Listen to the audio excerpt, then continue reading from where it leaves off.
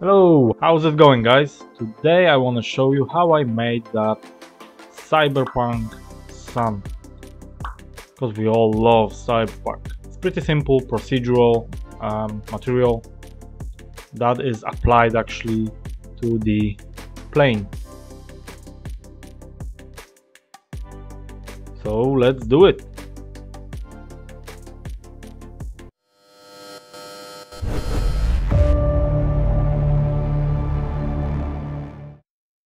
Okay, here in Blender, as usually, we will delete everything. I will also turn off the floor and axis so you can see better. Let me turn render view. So we will start with adding simple plane. Let me go into top view. Right, let's make a new material and and here I will delete principled BSDF shader. As we know, sun is emitting light, so we will add emission shader to our plane. By the way, I'm using Node Wrangler add-on. Okay. Um, next, the sun is pretty much round, so the easiest way to make a circle uh, is by using gradient texture. Let me plug it to the emission. Okay, I will change color blending from linear to spherical. I will make sure gradient texture is selected and I will press Ctrl T that will give us that mapping and texture coordinates node. Here I will plug object to the vector and there we go.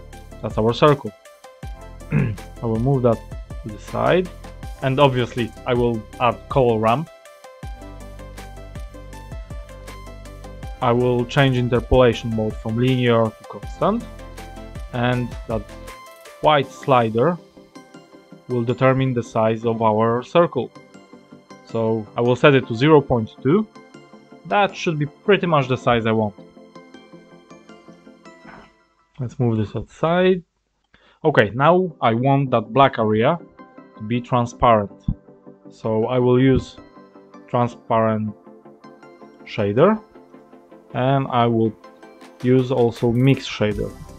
With Node Wrangler it's pretty simple, just press Ctrl Shift, right click on a transparent and drag it on top of the emission and it will create mix shader. right. Now that color ramp that is plugged to the emission shader, I will plug it to the mix shader factor. Now your center is transparent and and the square is white, that means we need to switch the nodes. Right now I got the emission on top and transparent plugged on the bottom. Let's switch it and there we go. Nice bright circle. I will also change emission strength to 10. Now let's make it the color we want. So usually Cyberpunk Sun has very bright colors and to add at least two colors to my sun I will use gradient texture again. So Shift A, texture and gradient texture. I will also use color ramp. Let me plug gradient texture factor to color ramp and color ramp color to the emission shader. Now I will change the black color in color ramp to let's say yellow and white color to um, red. Um, it's not quite what we want. To change it we will need mapping node and texture coordinate node.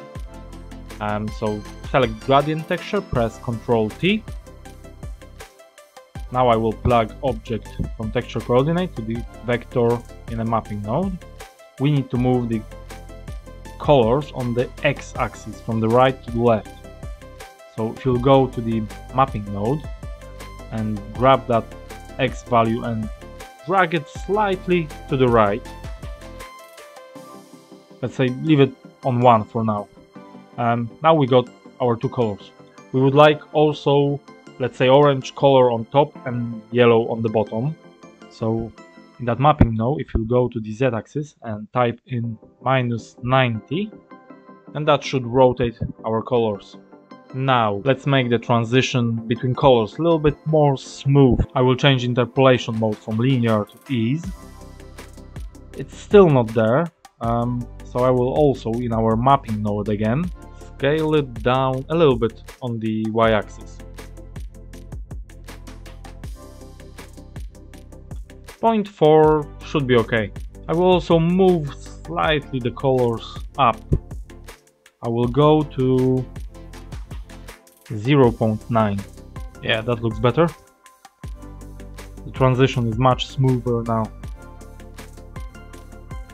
Okay, but it's still not cyberpunk style. Um, the factor in the mix shader is driven by these nodes here.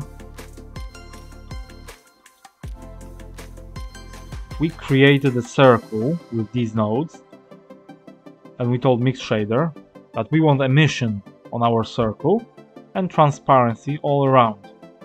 Okay? Now we will have to cut out stripes in our sun and we will do it with wave texture. So Shift A, texture, wave texture.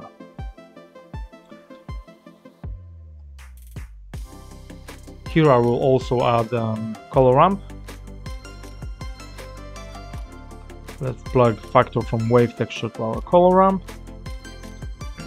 And temporarily let's plug that color ramp to our factor in a mix shader node. Okay, now we got lines. Okay, now here I will change interpolation mode from linear to constant. Everything disappeared. so we need to move the white slider to the left and I will set it exactly in the center, 0.5 here in our wave texture we will have to change the axis from X to Y and it looks much better. Let's turn down the scale maybe to 1.2. So in the next step I will use another wave texture to make some cutouts in those stripes to make it thick on the top and as we go lower they will get thinner if that makes sense. So let's select wave texture and color ramp, press Shift D and place it slightly below.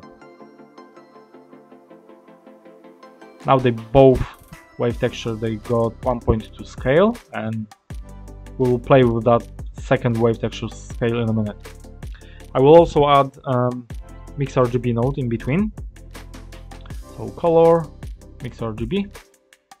Let's place it between color ramp and mix shader for now and let's plug the second color ramp into color 2 right now nothing's changed. I will change the mix value in our mix shader to difference and now if we change the scale in the second wave texture um, we will start seeing some pretty good effects. Um, the best scale that worked for me was 1.12 and if we go to the mix RGB node well now it's difference RGB node drag the factor all the way up you can see what is happening. We are basically using the second wave texture to cut holes in the first wave texture. So that's pretty much what we want to achieve, that thicker stripe at the top and as we go lower they are thinner and thinner.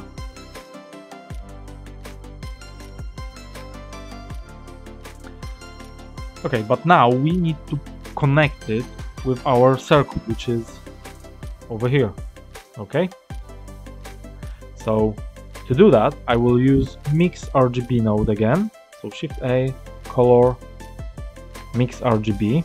I will place it somewhere here. Now, I will plug the color ramp from our circle setup to the first color in mix RGB node.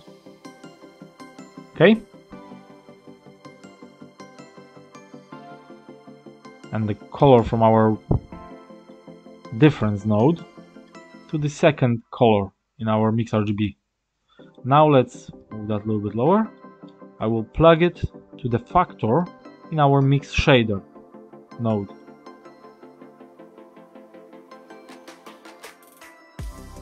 Obviously, it makes circle with um, our stripes.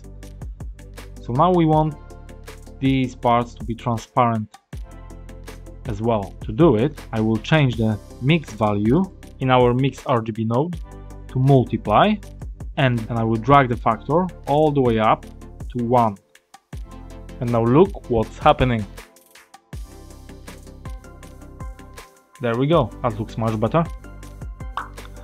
Here I will play a little bit with those um, stripes with, with our wave textures. I will select the first wave texture, press Ctrl T so we have our texture coordinate mapping node.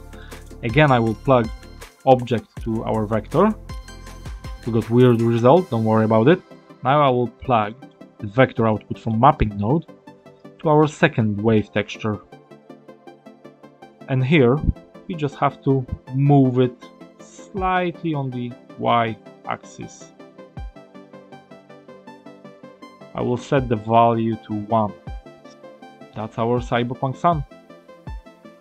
You can always tweak the colors a little bit, um, make the red maybe more purple. Yeah, that's more cyberpunkish. yeah, just have fun, try to make it your way. I will post complete node setup on my website, so please check it out. And see you next time.